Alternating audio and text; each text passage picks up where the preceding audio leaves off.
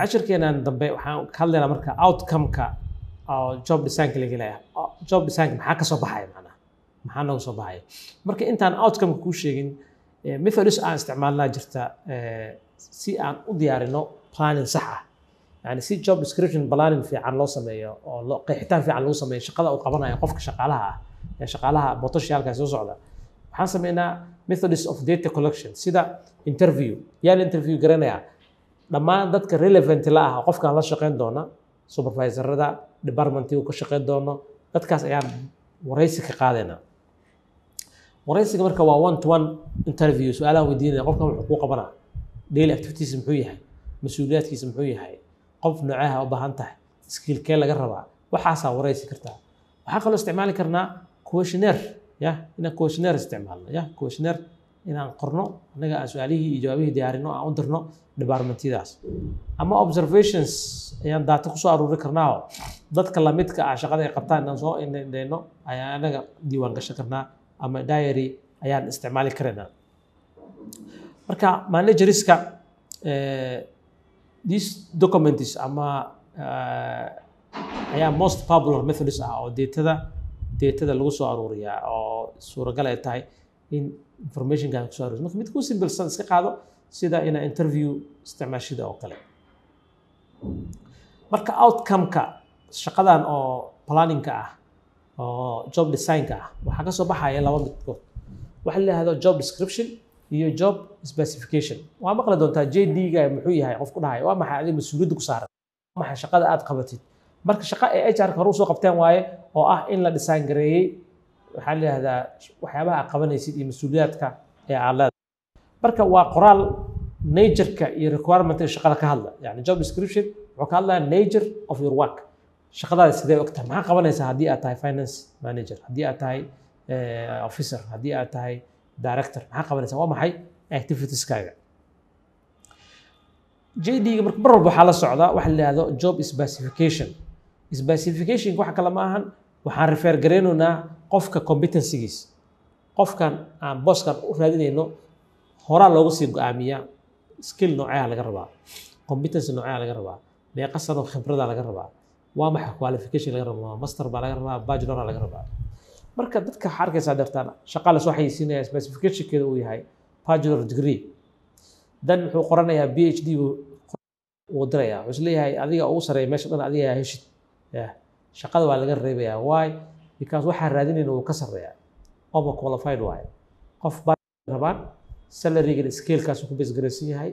Haddii marka aad danaynaysa adoo b h d b h d ah qoranin bachelor naa qoratid shaqada dirso.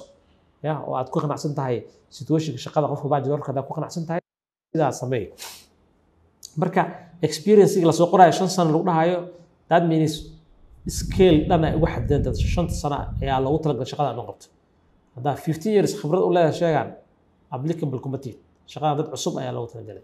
Ama shaqada waxaa ku qoranba one year keliya adigna waxaa haysataa toban sano oo khibrad ah.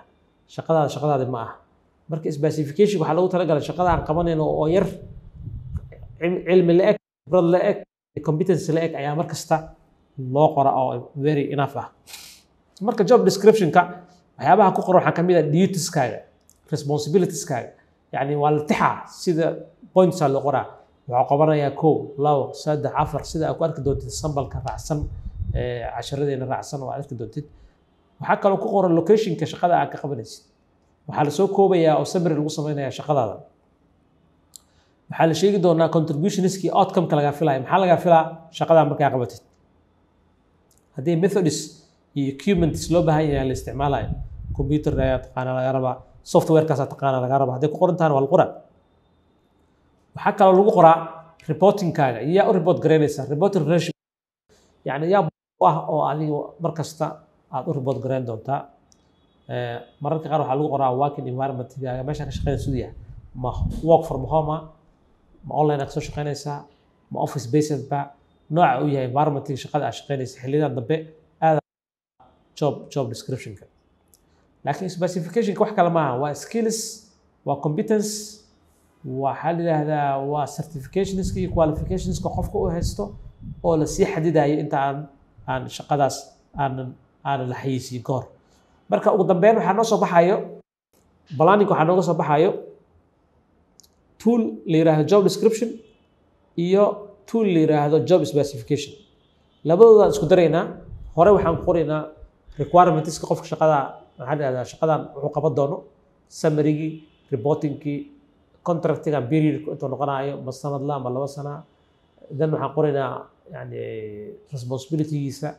Ugu dambeyn waxaan sheegaynaa specificationka. Jaamacad baa lagaa rabaa waxaa lagaa rabaa shan sano khibrad ah. Ma waa maxay specificationska lagaa rabi karaayo?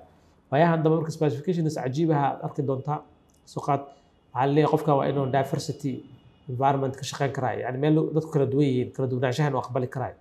Waxaa lagu soo qori doonaa pressure inuu ku shaqeyn karaayo waxaa loola jeedaa adoo afarta galanimo joogo computerka dansanaya in lagu dhaho shaqo cusubaa taala. Aad soo booday inaad fadhisaa lagaa rabaa shaqey. Inaad pressurekaas ku shaqeyn karaysid ama week endiga lagu yihahdo shaqey. Waxyaabahaas marka waa lagu sii qoraa waa lagu weydiin doonaa. Imtixaanka markaa galaysid iyo interview waa lagu weydiin doonaa. Hooska xariiq stepka markaad joogtid oo job analysiska waxaa haystaa? Two documents. Waxaa laga rabaa inay ku diyaarsan yihiin job description iyo labadooda terms of reference terms of reference. Soomaali jobs gal shaqo soo horbaxda fur. Waxaa ku soo description specification. Qorna ay ugu qoran tahay terms of reference. Kadibna ciwaanka shaqadana ay ku qoran tahay ka soo qaad finance director data finance director ayaa ku qoran. Jagarey websitekaas soomaali jobs firi TUR-radana ku baro siday u taalo sambalada aan soo dhignana si fiican u fiiri